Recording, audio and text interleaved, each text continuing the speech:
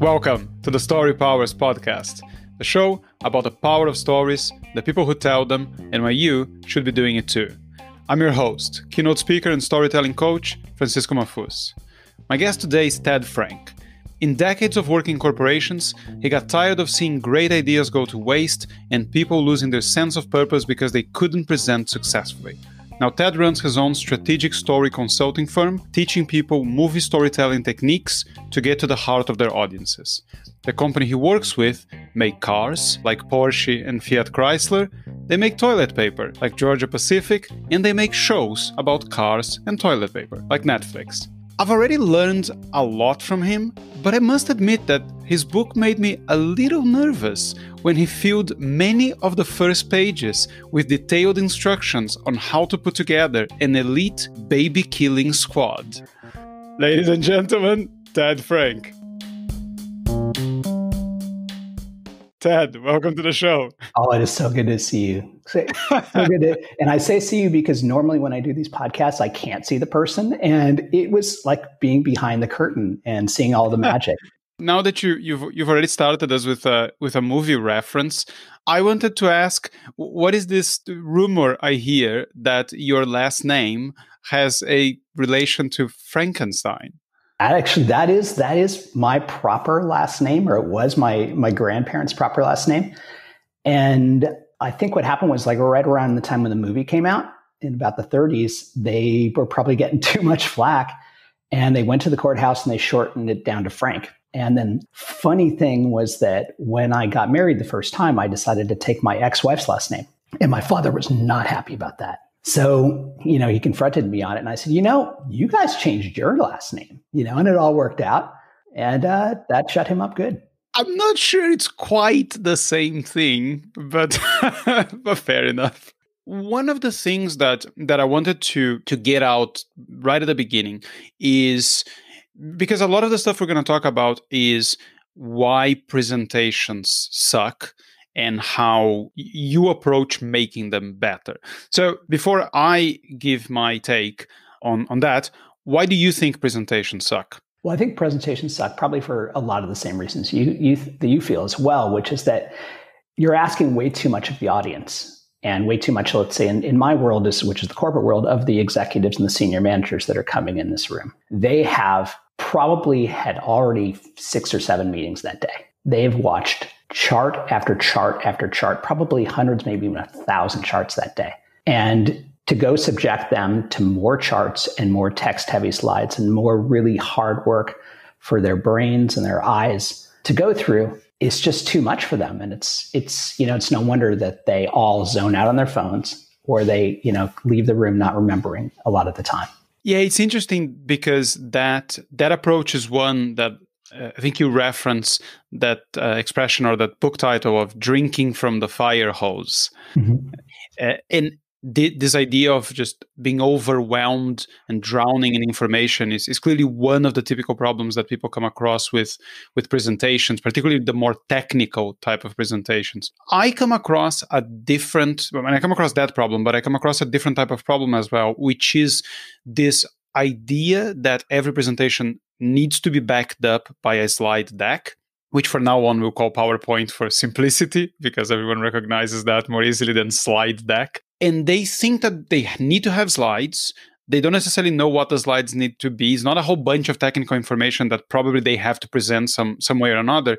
And then what you end up getting is either the classic headline with bullet points, or you get even when you get images, it becomes this thing of I cannot say anything that is not backed up by a slide. Because I think I can forgive more easily a technical presentation that has graphs that a sales presentation that has the exact words you're saying on the screen, or you say, when we look at millennials, picture of millennials. When we talk to boomers, picture of boomers. It's okay. People can hear what you're saying. They don't need to to see everything, uh, particularly when it's not adding. And then in my world, what tends to happen is just people become it becomes a crutch. People read it, and whatever presentation skills they had to begin with go down the drain. I tend to go down this extreme route that most people shouldn't have any PowerPoint. And I don't want to defend that. That's not what I want to talk to you about. But I just wanted a quick take from you on why you think that in the vast majority of cases of the people you work with, that's not really an alternative. You know, I, I in the corporate world, it is definitely expected and it's kind of the default. But you're absolutely right; it's definitely not necessary. And when you can do it without PowerPoint, you should absolutely do it. And I'll give you a perfect example for that in a minute. But first, I kind of wanted to hit on one of the things that you brought up and why it's so awful. You know, you talked about putting text on the slide and putting a lot of text on the slide, and, and you said reading the slide. When people do that, it really does them a disservice because if you're the executive sitting watching that presentation, your eyes can read that across the screen far quicker than the person can say it. So when the person says it and they're reading it, unless they read it really, really fast, that executive's eyes and ears are out of sync. And that require, then requires their brain to have to put it all together. And it's more work. Um, the reason why, you know, we might do things like show a millennial when we have, when we say a millennial is that it puts everybody on the exact same page. And we now have a visual reference for who that millennial is. And especially if you're going to bring people back to that millennial and that millennial becomes a hero, let's say, in the, the presentation, it really helps, you know, because in corporate culture, people have hundreds and thousands of things to think about all the time, especially if you're an executive. Making it as easy as possible is so helpful for them. Well, I spoke to, a, to, another speaker called James Taylor. He was one of the first episodes on the podcast and a friend and someone I work with. And he believes the visuals are what people remember. I disagree. I think it's the story that people remember. So my my view is that if you're comparing someone up there doing a story based presentation with no PowerPoint, with someone doing the uh, a reasonably competent presentation and, and a whole bunch of visuals on the PowerPoint, but not necessarily connected to the story, not the stuff you do. So let's call it, let's say, a competent, regular type of PowerPoint presentation. I think that the story based presentation with no deck is going to beat that hands down every time you do it well. What I don't know is if a story based visual presentation would always beat the story based presentation with no deck. Well, that totally depends, I think, on the person either telling the story or the person presenting it. If you're a skilled storyteller like yourself or Garrison Keillor or you know any of the people who do it really, really well, yes, you you can visually you can evoke visuals in people's brains. They don't need anything else, and their voice your voice is just amazing. Like you know, when I I listened to a podcast called This American Life with Ira Glass, that is one of the most captivating podcasts ever. But not everybody's got those skills. And you know, you know from you know making this your life's work how much talent and how much work went into it, and how much discipline you have to have when you tell a story. And I've found that that's often asking a lot of the average person. So, you know, we sometimes they need that crutch. And if that crutch can make it just make them more compelling and can make it easier on the person who's watching it, probably it's good enough. But I kind of also want to hit another point, which is that there's storytelling, but the most powerful thing you can do is what I call story staging. And that's where you make your whoever's watching the actual hero of the story and they experience everything. And that is even more powerful than any of the other things. And I, I want to get into that, but let me let me just ease us into it uh, a, from a slightly different way. We've agreed that most presentations suck. Uh, and, and, you came across this in your previous work where a lot of great ideas never were followed through, never got developed because when it came to selling those concepts, people couldn't do it well so you you started figuring out that storytelling might be the answer and one thing i don't think we need to do is bang on about why storytelling is the answer because anyone listening to this podcast probably has heard that from me a million times. But you said something in your book which i wanted to pick you up on. You said when people try to do storytelling it's either too difficult or often it's too difficult or hokey so I just wanted you to to explain what you you know just give me an example of what you mean by either the too difficult or the or the hokey type of storytelling. Yeah, well, the too difficult is kind of like you know what what I just um, hit on before, but the too hokey is when people add a let's say a hero to the story that seems like it's artificial. Like they they start their presentation with meet Francisco. a, you know he's a podcast you know he's a podcast journalist and a story a storyteller in Barcelona. And then they give you like 30 seconds of Francisco, and none of that is really important. So then, you know, then they keep really force fitting story elements into something that could be a whole lot more simple and could just come down to here's what's going on, here's what here's why it matters, and here's what needs to be done about it. I guess that has a little to do with something that a lot of people do when they're trying to tell stories is that they will pick some of the elements but not actually tell a story. So it happens in both ways. You see some people say uh, you get this on social media a lot, story time. And then they say, oh, you know, when I went to university, I, I, I didn't have that many friends and, and I decided to dedicate myself to whatever. Uh, and it, it was really important to me. That's not a story like to just give me a statement about you know how university was. There's not nothing is uh, to you pick a phrase from your book uh, it's not you know something's happening to somebody somewhere. It's just like this is what university was like. That's not a story. So that's one problem. And the other problem is people who say you know meet francisco and you give some of my character traits and and you say francisco likes to do this. Francisco likes to do that. It's not a story so it backfires because you're trying to do something which is kind of artificial and you do it very badly. So it's the worst of both worlds in a way. Yeah, I think you just answered better than I did. So well done. Thank you. I, I, this is one thing I always I always say to people: the job of anyone who calls themselves a speaker is sound confident and and sound like we know what we're talking about when we speak about stuff. It doesn't mean we know it any better than anyone else. We just put it together in a way that hopefully sounds convincing.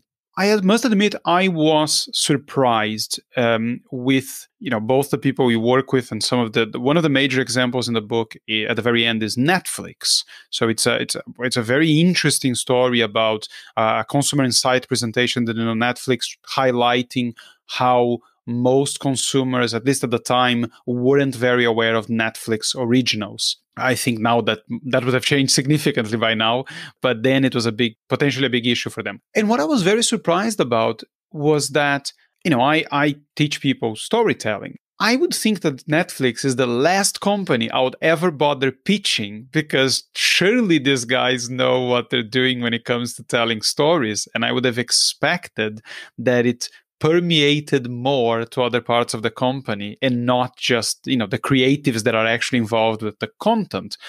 Based on what i've what the impression i got from your book that doesn't seem to be the case. Well i definitely think it's much more the case than than other companies. It definitely has permeated but it's a long long road from you know someone who's let's say you know a researcher or a, a data analyst or a programmer up to that create to that director level that they are in the creative on the creative team. You know, at, at Netflix, one of the reasons why I love them so much is that the standard for presentations is so much higher there than it is anywhere else. And every single presentation has to almost be a movie in order to make sure that that it's compelling. And, and one of the things we do is we put a lot of video in all of our presentations so that we can really show and we can really bring a forth emotion and things that I just don't get to do in other, you know, with other clients.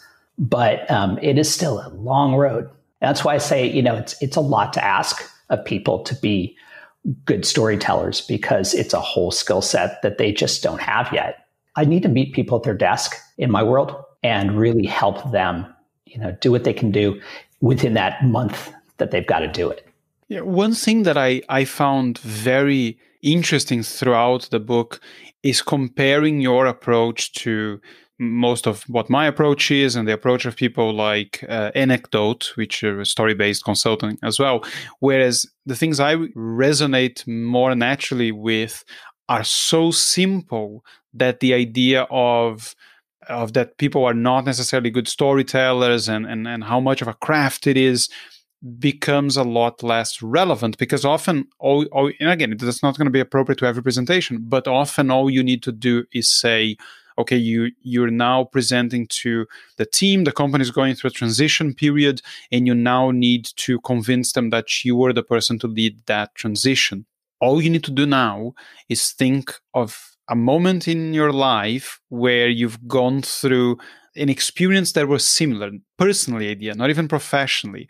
Either, and either you got it right then, or you got it completely wrong and realize that um, you need to dedicate yourself to becoming better at it and people will typically be able to think of, of an experience that they had that was that and then the presentation mostly becomes you go in you tell that story and then you move on to to the action points of what they have to do and that i would argue anyone can do. And they might not be able to deliver it terribly well and you know the way i deliver it when i practice with them is one way the way they deliver and get on stage is different. But yeah it's it's a world apart from from some of the higher end stuff you do. And and just so it's clear to everyone who's listening i wanted to talk about what you just called story staging um, which i think is what i'm thinking of. The type of stuff you do to open presentations. And i don't know if that's what you mean by story staging well, that's um, that definitely is story staging, but um, you can actually make the entire thing story or your entire presentation a story stage.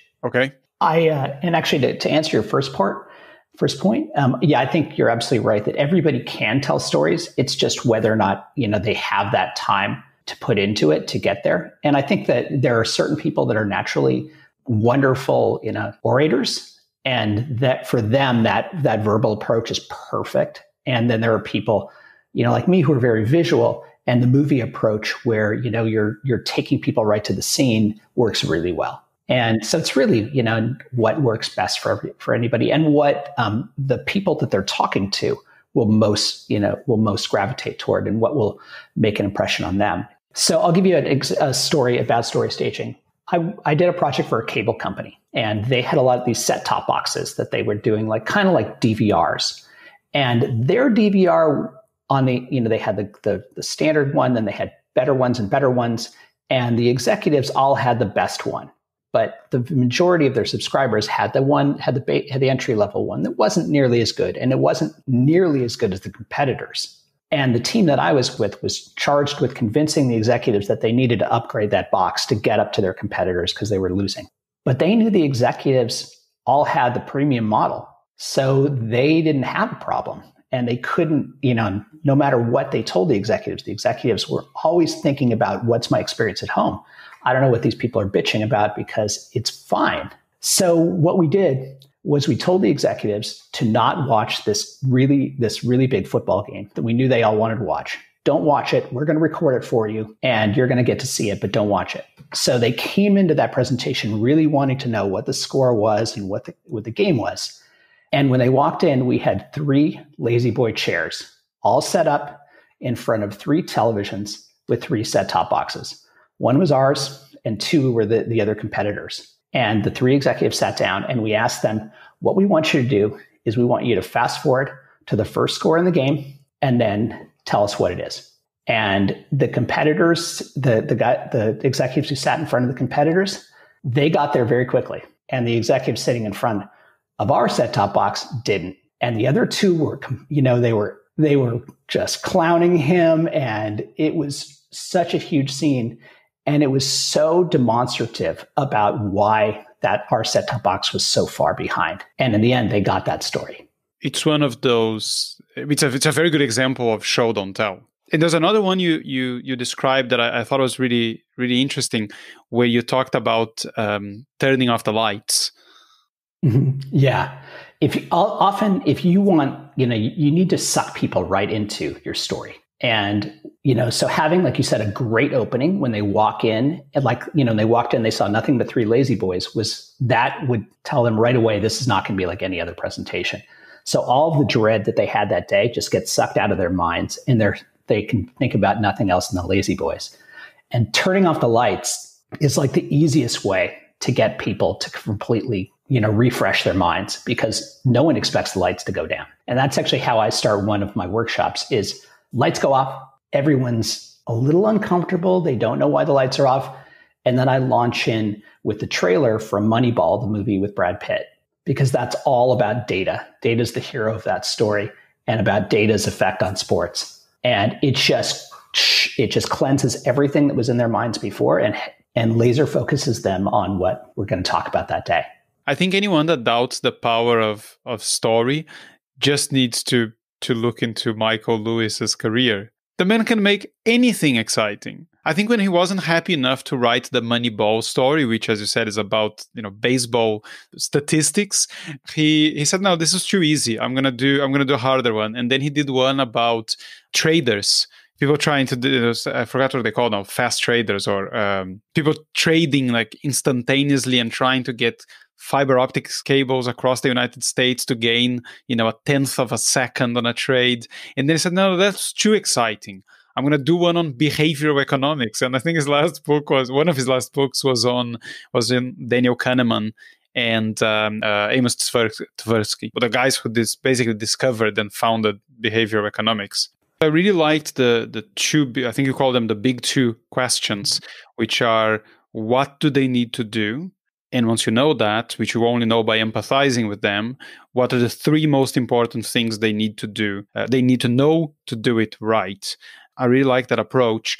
And how do you go from there to just the, the, the concept of, of the three key scenes? I start with empathize with the people in that room. What are they going through? What do they need to do with the information you're giving them? And then help them out, give them what they need to do to succeed at that that when once you really put yourself in the uh, in the shoes of the person you're speaking to, it's amazing how people's perception of the information that they have in their deck changes, and for the most part, gets cut by like seventy five percent a lot of the time. Then they create they put together three pi- they divide their slides into three piles, and I emulate Hollywood because Hollywood has three key scenes that every screenwriter starts with before they write the hundred and so scenes of their movie, they start with these key three scenes. There's the inciting incident, which is this, you know, I'm going to use Star Wars as the example. That's when Luke sees Leia in the hologram. Because before that, he is just a whiny ass farm boy that is never getting out of Tatooine. But he sees the princess and he has to save her. And then scene number two is what we call the turning point, or sometimes called the midpoint, but it's not necessarily in the middle of the movie.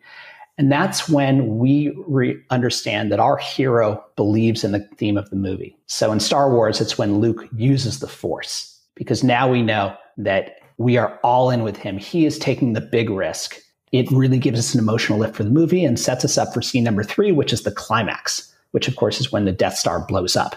And what screenwriters do is they write those key three scenes first, and then they always know where their story's going. And whenever they have a key scene, that or a new scene, that scene's job is to drive toward the next key scene. So it re, when when we put that um, to people in, in their terms of their hundred page deck, it really helps them understand. Okay, I can actually have a story with these three. Every other slides has has the job of moving me forward rather than what they used to have, which is just it's what I have and I'm going to tell it.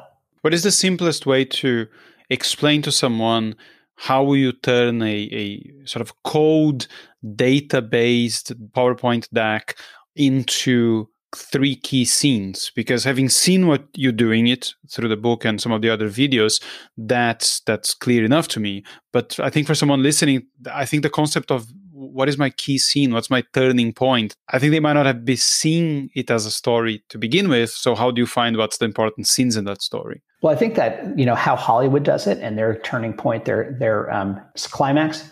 You don't really need to worry about at that stage. Just figure out what are the three most important things you know that your stakeholders need to know in order to do what they need to do right. That's the key. And later on, we kind of will be able to get them to where they can build a story arc around that. But in the beginning, when they're just choosing what are my big three, just really think about what's going to be most helpful Okay, and, and just to make this more, even more direct, would it be fair to say that what they need to figure out are the three most important insights or the three most important bits of data? So you know what you want them to do is say adopt this new uh, strategy. So what are the three most important things that they need to know to adopt that strategy? And would, would it be fair to say that you know one of them might be this is the the big problem and then the other one might be the opportunity and then the last one is the solution. Yeah that's that often is is the story arc because um, it, to kind of where you where we're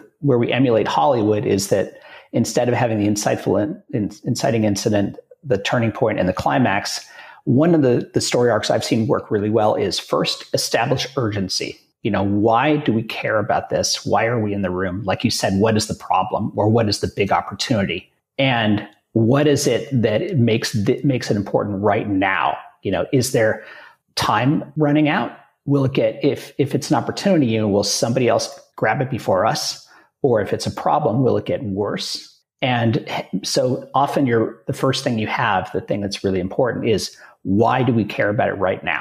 Then the second thing, like you said, is that what's the big payoff if we go this route? If we, you know, take if or from learning this information, what are they going to be able to to achieve or do? And you know, what's the reward they're going to get? And then confidence, I think, is the last thing that's really important, which is what are we going to do about it or what can be done about it and you know what's my strategy what are my next steps so that the executives in that room have a sense of we have to do this we want to do this and these guys can do it. I have faith in these people. Here's your green light. Here's your budget. Go make us a ton of money. In talking about how to get to the the three most important things they need to know to do it right obviously we're talking about heavy editing which is when the the baby killing comes into play.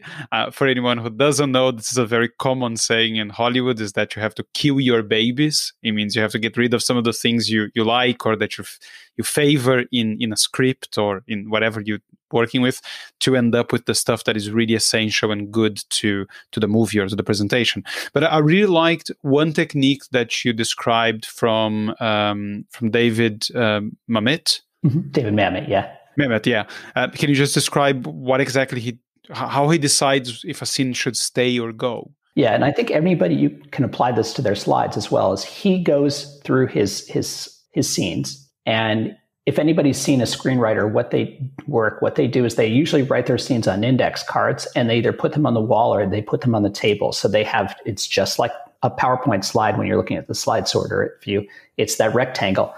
And he goes through every single one and he looks at the scene before it and he looks at the scene after it. And he asks himself, can I get from the scene before it to the scene after it without this scene? And if he can, it goes in the garbage. And if he can't, then it stays but he puts him he puts that he does that exercise with every scene so he can get rid of any scenes that really don't matter. And you can do the same thing with your deck.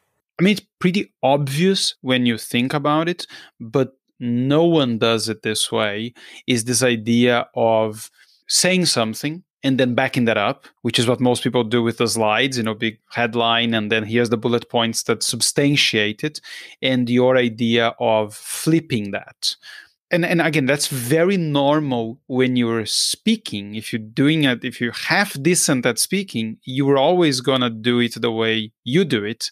Um, so can you just explain how that what that is and how that looks when it, when it comes to slides? Yeah it, it's all i think it's all started from the way the template is set up in powerpoint where you've got the the big headline and then you've got your first level bullets and your second level bullets and your third level bullets so you naturally do it that way. You naturally, like you said, put the big thing that's really important in the headline, and then you back it up with bullet one, bullet number two, bullet number three, bullet number four, and blah, blah, blah, blah, blah. And all of that just creates this downward slide in engagement for the people watching it because th- you've already given this big thing away. And then they just fall asleep and fall asleep and fall asleep even more because they don't need to pay attention. So, what great storytellers like yourself do, and what movies do, is they flip it. And what were bullet points that were supporting it, they now lay out as kind of clues that lead you toward the big point. And one of the examples that I bring up is how newspapers, which are a lot like corporations and, and, and PowerPoint templates, do it because you've got the headline, and every you know every journalist says you know taught you got to give the meat in the headline, and then you you have your story to back it up I give an example of this one article called "Sharks Ch- Kill Two in Australia," and we've got the, the the article that flips or that backs it up. And the way I contrast that with the movie Jaws and how movies do it, which is that first thing you see is you see the swimmer, and you don't even know there's a shark going on. Whereas before you, you knew that sharks that the sharks killed two people. Now you just see the swimmer, and then you see the outline of the shark. And then that's clues number one and clue number two. Then you see the fin pop out of the water. And even though you know exactly what's going to happen, you still have to pay attention because you, you just have to. And then at the end, that's when you get the bite. It's never in the beginning because they know we're going to lose interest. So as soon as the bite happens and you see some blood in the water, they're off to another scene because they know, like you, like you know, you've got to build up that tension, tension, anticipation, anticipation, big moment, and then do it again. But don't do it in the reverse. Yeah, I find interesting what works and what doesn't work for different types of storytelling. So the resource or technique that people use a lot in movies and books called uh, in media res where you start in the middle of the action that works very well in movies that works very well in books I don't find that it works terribly well in oral storytelling. It's difficult for me to say to you, my girlfriend and her parents are visiting caught me with, you know, my trousers down with my crotch inside the freezer. But what happened that day was it just doesn't really work. It just feels super artificial. You can definitely do it on a on a book. Uh, you can perfectly do it on a movie because you just pan the scene and then you go back and go like, what the hell was that? I don't know. And uh, now I want to know. And and it's interesting how in trying to tell a story through visuals or, or slides, it doesn't really work that well because then you kill the suspense. Yeah, well, I think you know you just kind of hit hit the nail on the head because the headline of your story is my girlfriend's parents saw me, you know, with my with my penis in the, in the fridge. There, were, there was no penis being seen. The, the okay. everything was being blocked by the by the freezer. okay. That's the key thing. And so you cannot, like you said, you cannot start with that. That has to be the end. It's a so, punchline, yeah, effectively. Yeah, exactly. So what you've done is you flipped it, and and everything that came that you know you've you've given some setup to it by giving that information. And yes, it's not it, it's it's not starting the middle of the scene, but that's fine because the middle of the scene is the key point. Yeah, what does work well is to give the moral of the story or a taste of what the moral or the theme of the story is as a way to get into the story. So so you can say you don't have a second chance to make a first impression, but but you can recover from a terrible first impression and then you tell the story. Or I've seen people say sometimes is is the things we don't realize that are where our biggest learnings come from, and then you just tell the story. So it's it buys you time for telling a story that is not getting to the point for people that perhaps expect you to get to the point. Uh, but but no, 100% agree with the way you you use slides. I think that the only concern I think most people would have is if you're not going into the point straight away, that the people watching might feel that you're wasting their time. I think you and I know that they won't feel that if you do it properly, but I think the concern would remain to some people. Yeah, and you have to do it very quickly. You can't, yeah, you can't lag. That's why like, you know, to the question you had in the beginning about, you know, like the Meet Francisco story is you're wasting people's time. You got to move. You got to get people. Everything has to be engaging and it has to to be engaging quickly. We haven't talked about this at all yet, but a lot of your book and your work is based on infusing emotion into these presentations because it's a key component of any type of storytelling. If you're not moving people emotionally, then probably you're not moving them at all. And I, I really liked that you had the metaphor from Jonathan Haidt's book the happiness hypothesis, which is a, a mahout, which is an elephant rider on top of an elephant. So the idea there is obviously that the rider can direct the elephant, and the rider is the you know the rational part of your brain, and the elephant is the emotion. So the ride the rider can direct the elephant, but if the elephant decides he's not moving, he's not moving. So if you don't mm-hmm. move the elephant or move people emotionally, it's not going to work. And I I care about that metaphor a lot because it happened to me. I was in Thailand in 2012, I think, and uh, my wife and I went to one of these elephant places, but it was one of those places that they actually take good care of the elephants. So the only way you could go is you had to stay the whole day. So we would go, we got in early, and they explained to us how it works. And they basically said, you need to feed the elephant and befriend the elephant before you can ride the elephant because we would be riding. It wouldn't be a mahout a trained mahout. It would be us. So you feed the elephant and you spend time petting the elephant and once you've done it enough they say okay fine now you can ride. And then you stay on top of the elephant. And we didn't have the whole equipment. They just gave us some very basic clues about like if you do tap them this way or pull their ear this way they will kind of move to one side or to the other. I mean, it wasn't great of control we had there, and uh, and it worked well enough until the point that the elephant got into the water and decided they just wouldn't move until we bathed them. And the guy was like, ah, fine. Do you really want, do you want to bathe the elephant? I was like, I don't mind. I, I didn't really want to get into the mud. They're like, well, the elephant decided this not moving so nothing we can do about it. Um, so yeah so i think the idea that um, the rational part of your brain is the one that's going to stay in control is one that i've um, once i saw the metaphor i immediately related to it because 100% uh, that is 100% the case. You're not moving that elephant I'm, and I'm definitely going to thank you so much for telling me that because I'm definitely going to add that when I when I present that metaphor. Well, um, I, I can I can make it better, and this is something I probably will do when I use this speaking, which is I can give you a photo. This is a piece of art. So it's a photo of myself and my wife on top of the same elephant, but I'm dressed like a prisoner of war. a prisoner of war in a in a cheap romance novel because I have the the prisoner of war outfit kind of open with some chest hair showing, and, and, this picture was printed at the place, and uh, so printed at the place, so it's now kind of aged. It looks like a 1960s movie with crap image quality, and the the frame I have is made paper made out of elephant dung. I, I'll send you the picture. Use it at your own discretion, but it's one of you might have to apologize before you show it. oh, thank you so much. That is that. Because I'm always way too serious when I go into these things, so it's like that would be perfect. Yeah, not not a problem. I I, I have. Uh, I didn't know that you have to like you have to basically like you have to. They're like kids. You have to to show them you love them. Do you have to give the elephant chocolate? I, I think it was what we were giving them. I, I I don't think it was. Might have been vegetables or just some foliage or whatever.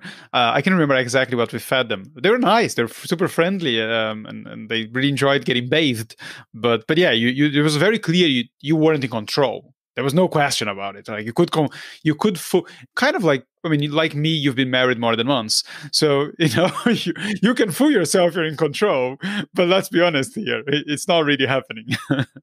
yeah, exactly. Exactly. You have to romance that elephant. Yeah.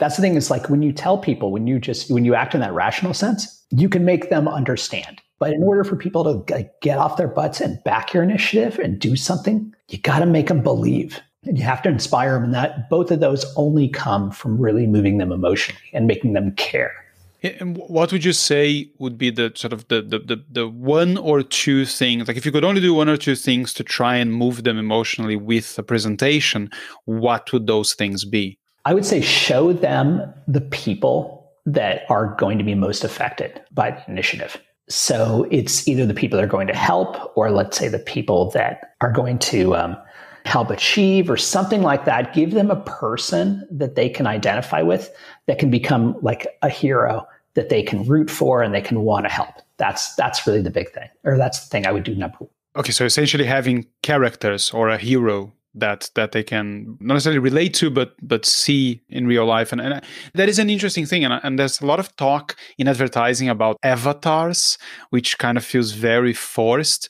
But what i've seen you do in the book and the supporting videos that go with it I think in one case, the one where it was about uh, diabetes medication, that was an actual person, right? So you you guys mm-hmm. went and found an actual person that has diabetes, and then it's her telling about her struggles with it, and not this.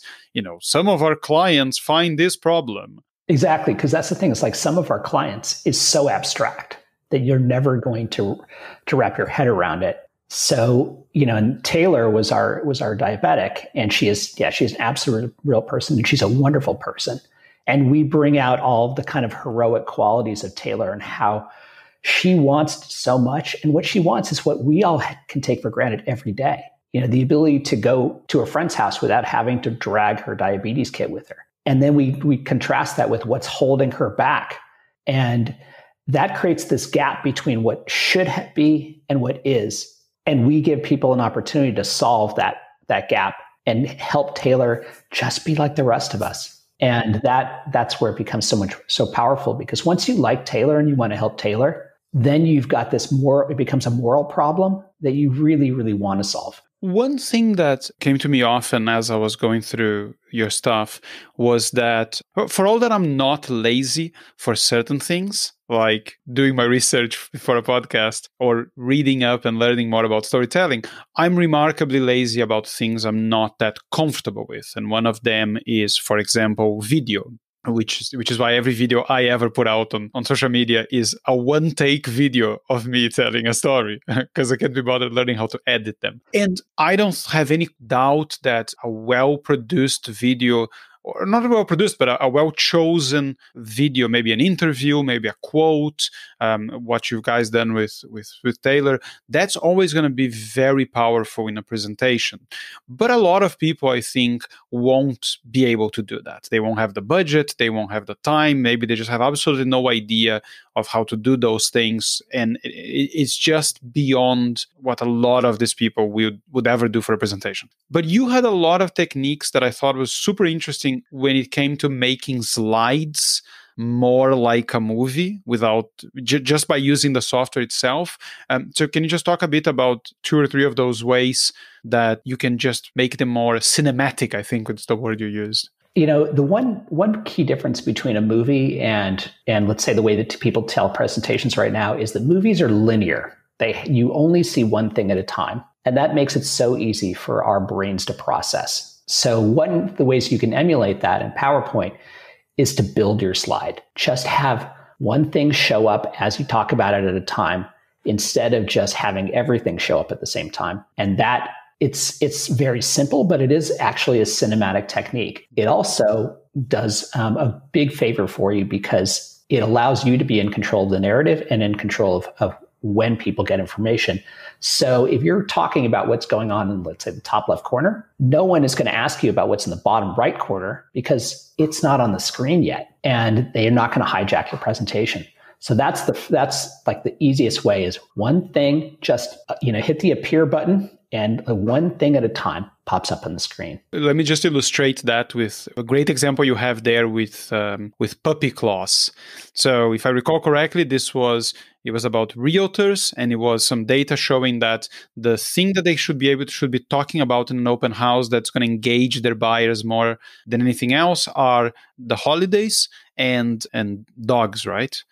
Yeah. Um, so I think the way you you guys did it was, or you did it was there was a question, you know, what should you be talking about in an open house to engage buyers or whatever. So that came out first, and then the next click uh, was the statistic that said holidays. Then the next click was the statistic that said dog, and then the last click is this puppy with a Santa Claus hat, you know, puppy claws.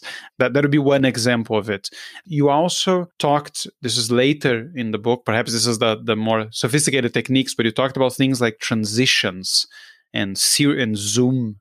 Mm-hmm. Yeah, and that's that is the next level. Is is using animation in PowerPoint in a way that's going to reinforce your story and visually show your story, not just to be kitschy or you know or gimmicky but to really make it make it work. And there are a couple that I use all the time, and one of them is called the push transition, and it's really it comes right from Hollywood, where they basically move the camera from let's say the left to the right, and when they get to the right, it reveals something. Like you see it all the time when you see like the you know you see this nothing wall, and then the camera pans, and then you see the like James Dean smoking a cigarette so what you do is you have the thing that you reveal on slide, let's say the second slide, and then you have what you're set up on the first slide, and you have it tra- you have it push either from left to right or from bottom to top, and it creates this idea that there's that whatever is on the second slide is really off screen and you're pushing it. So let's say you have a statistic that is so dramatically high you can actually put that statistic on the second slide so that when you're you're building it it looks like boop, boop, boop, you know you've got you're on the set, the first slide. And then this this stat is so high it doesn't even make it on the second slide because you have to push it down in order to get to there. And it's a really really simple but dramatic effect yeah, and the other one I liked because because this one is not I mean it's not terribly difficult from a technical point of view once you've you've done it once or twice, but the one that I think a lot of people would find very easy to do is when you use a series with the same hero as you call it. So can you just explain how that works? Yeah, so in that case what it is is those are um, what we had was we had this traditional, quantitative, stat heavy kind of presentation that was all about. Um, I'm going to say it's it's for Capital One, the credit card company, all about getting their merchants like Gap and Best Buy to adopt their rewards card. So what we did was we created a hero for that story, and we called her Sophia. And then I ran an ad for a model, and I took pictures of Sophia doing the things that the stat said she was going to do. And all we did then was present, let's say, these 15 slides. But instead of just having the big the stat in a chart or something like that, we showed what was going on with Sophia in action at the place, like she's at the Old Navy, she's using her phone to scan the to scan the item, and then that really brings everybody right to where that stat lives, and it brings it to life, and it just makes it so easy for the people watching it because instead of a bunch of bar charts, which all look exactly the same, now you've got a hero to follow in Sophia. You've got, you see her in all these places and it becomes so much more believable to them because they can see it. And it didn't take a lot of time. It took me about two hours to, to uh, at a mall to shoot all these pictures. And it cost me about $150 to hire this model. And it made it so much more memorable for the stakeholders. Uh, so a couple of other things that on, on content that I wanted to to pick your brain on. Uh, so the first one is the the line "Imagine with," imagine if. Yeah, yeah. So one of the th- things that were one of the areas where people run into trouble in corporate presentations is when they get to the recommendation section. Often they're afraid to make the big recommendation because they're you know it's it's it might be controversial. It might be you know asking too much, so they're afraid. So they kind of step back and dull it down a little bit and then they never get what they want. But then they're also, when you recommend something to somebody, then you're, you're really planting your foot in the ground and you're putting yourself at risk, which is why they're scared. And it might backfire on you later on if it doesn't work out. So, one thing you can do to get around that is to kind of flip it. And instead of saying, I recommend, you say, imagine if, and then you have what you would recommend play out like, like in, like I could say, imagine if this podcast was faster rather than this podcast. We recommend this podcast be faster. Say, imagine if it was faster. What? And then you, you show the payoff of what would happen. You end up giving the exact same information with the same message. But the difference is instead of it being a command to people, it's an invitation for them to solve it. It's more of a pull strategy than a push strategy, as exactly. a lot of people like to talk about stories being a pull strategy and not, uh, you know, pushing information onto people.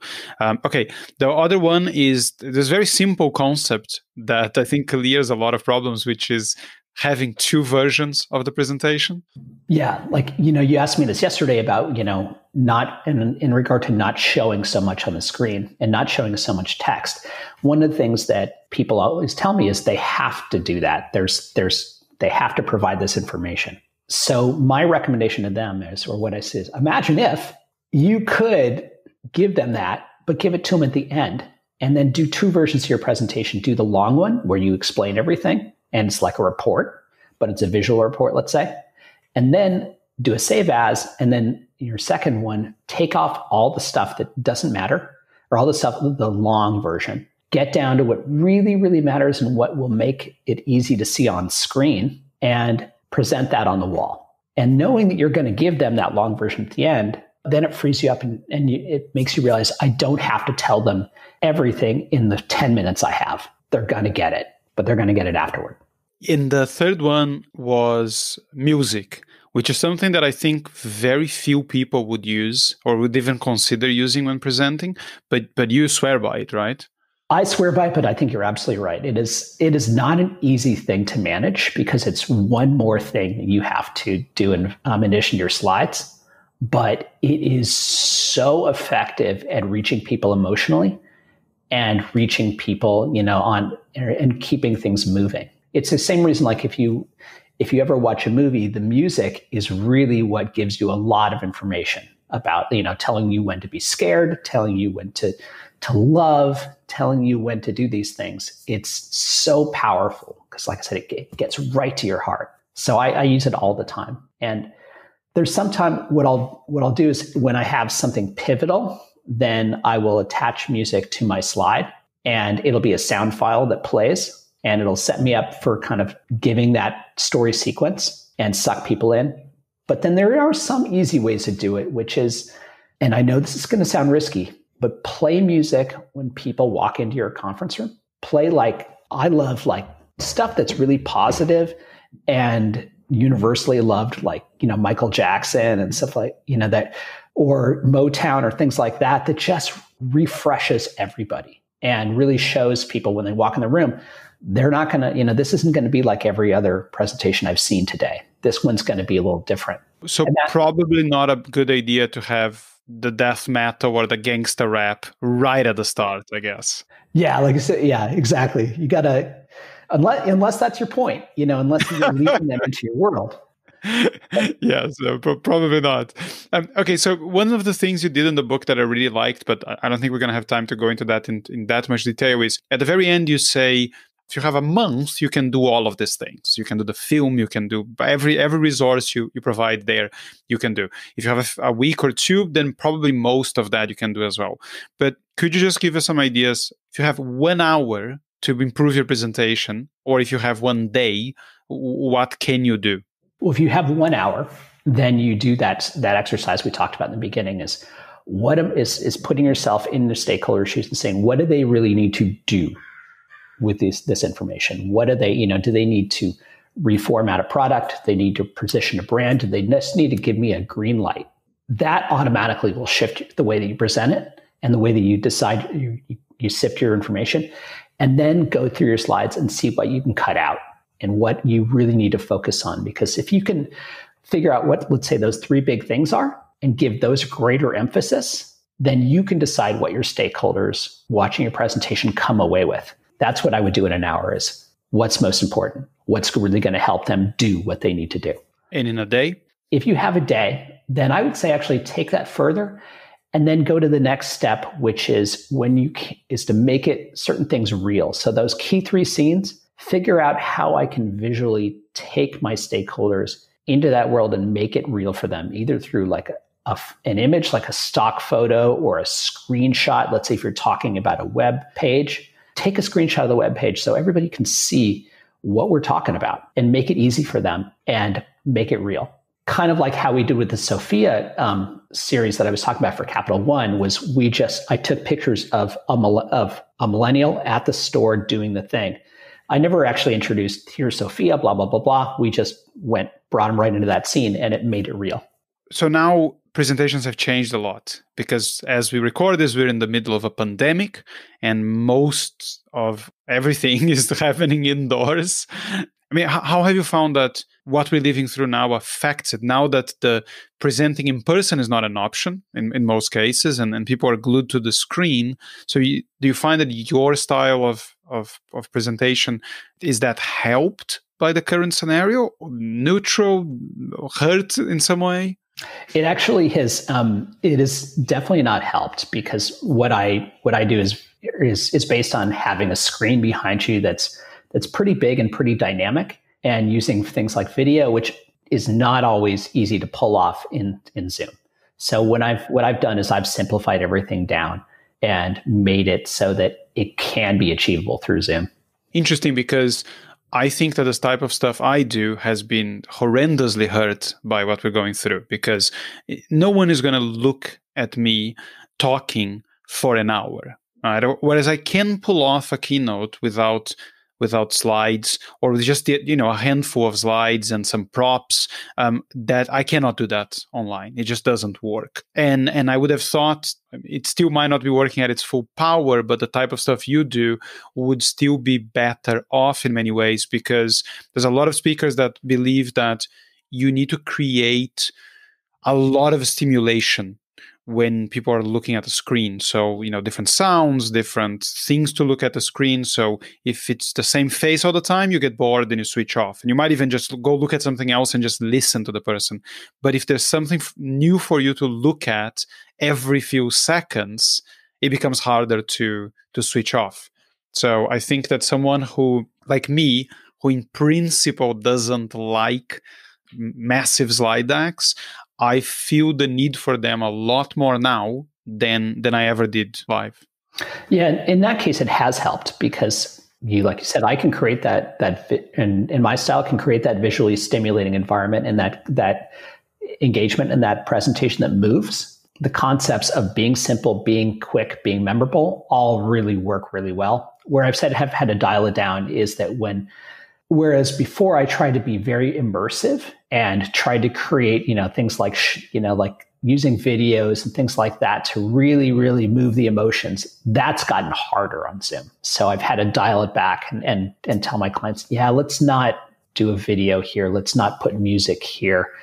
Let's not use this animation because it's going to be, we're not sure how it's going to end up with the bandwidth. But, you know, you can absolutely still be visual and create that kind of movie of sorts. Okay, so your book, which I realize now I might not have actually said the name of, uh, is Get to the Heart. And I can hand to heart say that if anything I've ever read or heard made me despise PowerPoint less is been is been your book. Uh, now, how much I'm going to adopt it to its full capacity, it's yet to be seen. But if we stay on on lockdown, I'm pretty sure that that I will end up using a lot of that stuff because I can definitely see how how it should improve not only my presentations but pretty much anyone's. Now, other than the book, which can be found anywhere books are found, where would you want people to go if they want to to get in touch with you or find out more about the stuff you're doing these days? Everything's on my website, which is tedfrank.net. And you'll see trailers for my workshops. You'll get to see, um, there's the, the link to the book there, and then kind of the whole breakdown.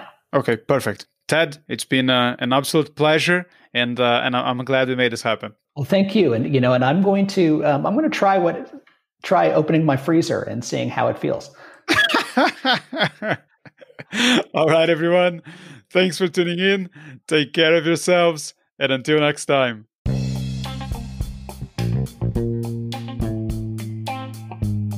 I hope you enjoyed the show.